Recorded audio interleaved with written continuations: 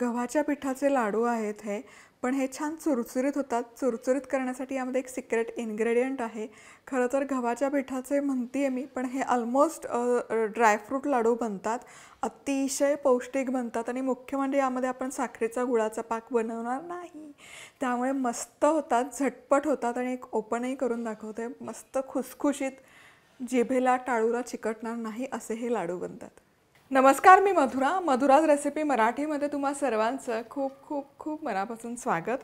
आज आपण पौष्टिक असे गव्हाचे लाडू कसे बनवायचे ते बघतो आहे अतिशय पौष्टिक रेसिपी आहे. गव्हाच्या पिठाचे आहेत पण चुरचुरीत हे लाडू बनतात. अगदी डिंक लाडू पण तुम्ही याला म्हणू शकता. पण मुख्य म्हणजे हे लाडू बनवताना आपण यामध्ये सिरप किंवा पाक अजिबात बनवणार नाही होत सो ही याची खासियत आहे असं आपण म्हणू शकतो. साजूक तूप घातले पाव कप म्हणजे चार चमचे. यामध्ये एक दोन चमचे मी डिंक घालते. डिंक आपण फुलवून घेऊयात. डिंकाची अशी पूड करून ठेवली. तुकडे घालून ते फुलवून घेतले तरी चालेल. पण माझ्याकडे पूड आहे. मी जनरली काय करते थंडीच्या सीझनमध्ये अशी पूड ठेवते कायम किचनमध्ये. आणि मग एखादी पोळी करताना किंवा थालीपीठ वगैरे करताना चिमूटभर टाकते. की जे आपल्या आरोग्यासाठी चांगलं असतं. मेनली बोन्ससाठी आता हे छान फुलवूयात आपण डिंक. डिंक छान फुललं आहे आता यामध्ये उरलेले जिन्नस घालूयात. पाव कप इथे वॉलनट्स मी घेतलेले आहेत. पाव कप बदाम पाव कप काजू आणि अर्धा कप पोहे. आता हे सगळे जिन्नस एकत्र आपण परतून घेऊयात. फ्राय करायचे एक तीन ते चार मिनिट पोहे छान असे चुरचुरीत होईपर्यंत. आणि हे असं कंबाईन होतं डिंक काही हरकत नाही कारण हे आपण नंतर सगळं एकत्र ब्लेंड करून घेणार आहोत. सो हे सगळे जिन्नस छान असे परतून घेऊयात. तर पोहे इथे हलकेसे चुरचुरीत व्हायला सुरुवात झाली की यामध्ये अर्धा कप किसलेलं सुकं खोबरं घालायचं आणि हेही छान परतून घ्यायचं एकत्र. आता हे सगळे जिन्नस छानपैकी असे भाजून झाले की गॅस बंद करायचा आणि एका डिशमध्ये आपण हे काढूयात. आता हे सगळे जिन्नस काढून झाले की याच पॅनमध्ये उरलेलं पावकप साजूक तूप घालून घ्यायचं. आधी पावकप वापरलं आणि आत्ता हे नंतर पावकप. यामध्ये एक कप गव्हाचं पीठ घालूयात. गॅस सुरू करायचा. आणि अगदी मध्यम आचेवर हे गव्हाचं पीठ छान आपण भाजून घेऊयात. एक दहा ते बारा मिनिटं तरी भाजून घ्यायचं मध्यम आचेवर. पीठ करपलं नाही पाहिजे छान असं हलकं झालं पाहिजे. आता हे गव्हाचं पीठ मस्त असं खमंग मी भाजून घेतलं आहे रंग खूप छान आला आहे एकसारखा असा सोनेरी रंग आलेला आहे आणि टेक्स्चरही याचं छान असं रवाळ झालं. आता यामध्ये हे जे जिन्नस आपण तळून घेतलेत आधी हे घालूयात. आता गव्हाच्या पिठाचे लाडू आहेत ते चुरचुरीत करण्यासाठी हे इतके सगळे जिन्नस घालायची गरज नाही आहे तुम्ही फक्त पोहे मिक्सरला फिरवून घालू शकता. पण आपण हे पौष्टिक करतो आहे थंडीचे दिवस आहेत. सो सॉर्ट ऑफ हे टिंकाचे लाडू सारखंच करतो आहे फक्त यामध्ये आपण कुठलाही पाक बनवत नाही आहे आता हे छान असं एकत्र मिक्स करून झालं की यामध्ये वेलची पूड घालूयात. एक अर्धा चमचा. आणि हे वेलची पूड छान कंबाईन करून घेऊया. आणि हे मिश्रण हलकंसं आपण थंड करून घेऊया. अशाच मस्त चमचमीत आणि झणझणीत रेसिपीजसाठी मधुराज रेसिपी मराठीला सबस्क्राईब करा आणि त्याचबरोबर बेल आयकॉनवरही क्लिक करा. आता मिश्रण हलकंसं थंड झालं की यामध्ये मी घालते मनुका एक साधारण छोटी वाटीभर. आधी तुपामध्ये परतून घेतल्या तरी काही हरकत नाही.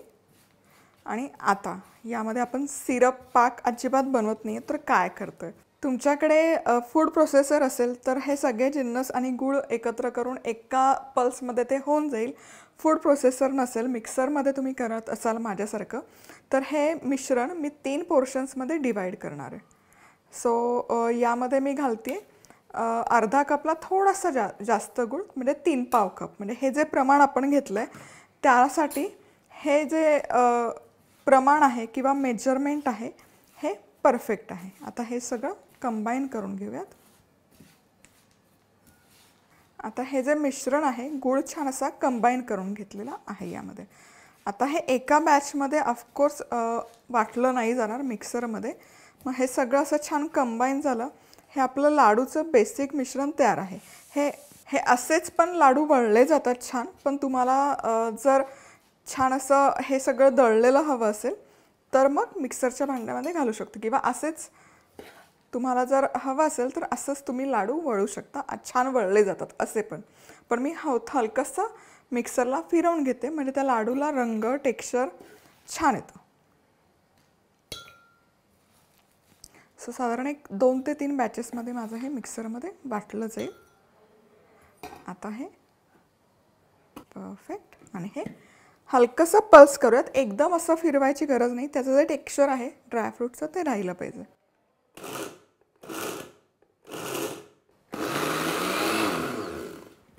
आता हे छान असं मिक्सरला हलकंसं फिरवून घेतलेलं आहे मी. खूप बारीक किंवा फाईन पेस्ट किंवा पूड नाही करायची. आता हे मिश्रण एका प्लेटमध्ये आपण काढूयात. मस्त दिसतंय मिश्रण तुम्ही बघू शकाल. छान असं बाइंडिंग येतं याला आणि छान असं परफेक्ट रवाळ पण होतं. आणि चुरचुरीत जसं मी म्हणलं की गव्हाच्या पिठाचा लाडू असला तरी तो असा दाताखाली जिभेखाली असं गिळगिळ लागत नाही छान लागतं खुसखुशीत. आता सेम या पद्धतीने हे सगळं एकत्र छान असं ब्लेंड करून घ्यायचं.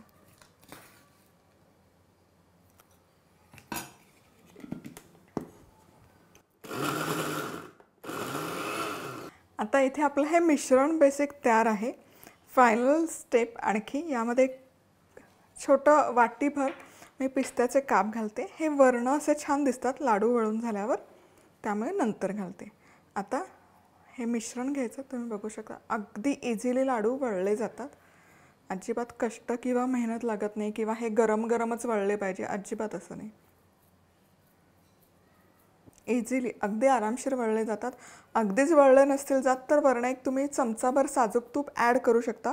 पण हे जे प्रमाण तुम्हाला दिलेलं आहे हे परफेक्ट आहे यामध्ये अजिबात चेंजेस करू नका. लाडू वळून तयार आहे.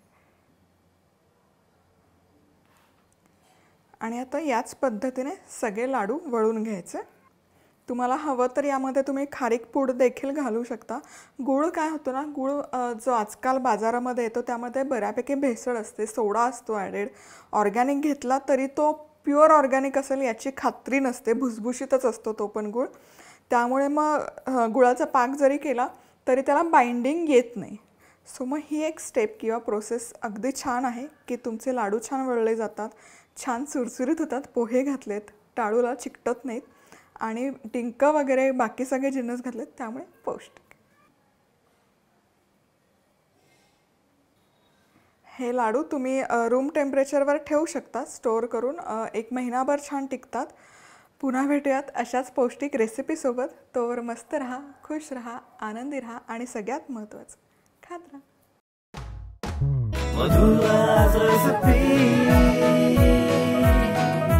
मधुराज रेसिपी महाराष्ट्राची अस्सल चव.